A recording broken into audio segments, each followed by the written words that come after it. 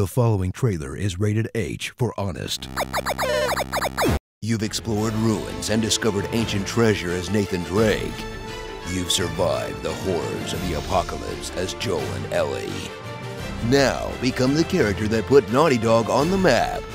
A horrible furry in jorts whose arms are way too far up on his body. Crash Bandicoot. In an era where every console needed a kid-friendly mascot, discover Sony's answer to Mario and Sonic as they dish up an extremely linear platformer with some cute characters and solid gameplay. That would have been the shit in 1995, but was blown out of the water when Mario 64 came out two months earlier, making people who only owned a PlayStation twist themselves into knots as they tried to argue that their awkward, barely 3D Bandicoot game was better than an all-time classic. Hey, it could have been worse. At least they didn't have to stand for Gex the Gecko, or God forbid, Bubsy. Never play Bubsy.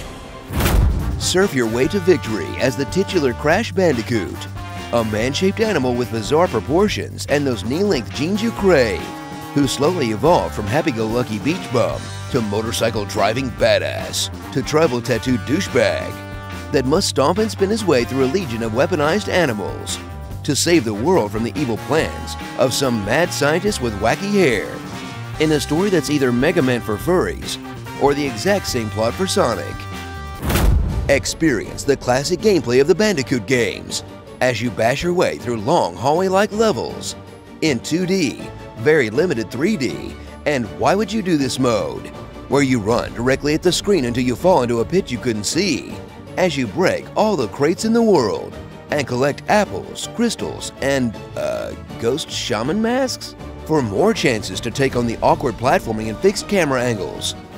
In gameplay, it seemed alright at the time, but it's probably gonna bum out some kids that play the remaster. Today, little Johnny learned that classic doesn't always mean good. Uncover the inexplicably massive catalog of Crash games. From the initial Naughty Dog trilogy of box-filled corridors, to the sequels from new developers that tried to copy the formula, open up the world, make it a beat 'em up, or some combination of the three, but never quite found that magic formula to make people love this poor deformed Bandyman. Then dive into the extensive list of side games, like the kart racing titles that are way better than you would expect, the party games that are just dressed up minigame collections, the mobile games we feel obligated to mention, and the mini crash game they just shoehorned into Skylanders for some reason. Because there's nothing the children of today love more than failed mascots from the 90s.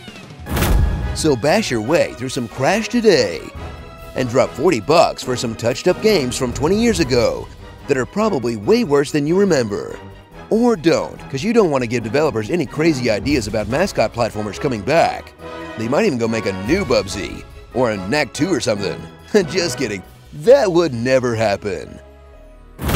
Starring Conan O'Brien's Persona, Penny Gadget, definitely started some fetishes, Furry Jacks. Is this racist? Okay, this is probably racist. Dr. Phineas Gage. Bebop. Rocksteady. Another evil doctor. Yet another evil doctor. And Dr. Robotnik. George Bandersnatch. So, if Crash exists in both the Uncharted universe and the Skylanders universe, does that mean there could be a crossover because all I want is for Nathan Drake to hang out with Drobot and Tae Kwon Crow. Is there a series that you have desperately been requesting and never got to see? Do you think your series is superior? Well, here's your chance to prove it in our first ever Honest Games Trailers Gauntlet. In the month of June, fans will get to vote from 24 of the most requested Honest Trailer games. And each week, we'll pit six games against each other, pick a winner, and make an honest trailer about it. Then in July, we'll put the final four in a month-long poll and truly see which series comes up on top. To cast your vote, look up the hashtag HGTVote on Twitter and Facebook. Good luck, and let's hope your game can survive the gauntlet. Comment below on what you want me to read in my epic voice. I'm a fool for dancing, and you're a dancing fool. My ultimate is ready. Im Shrek Slay for the Night. Shut up and butter my toast.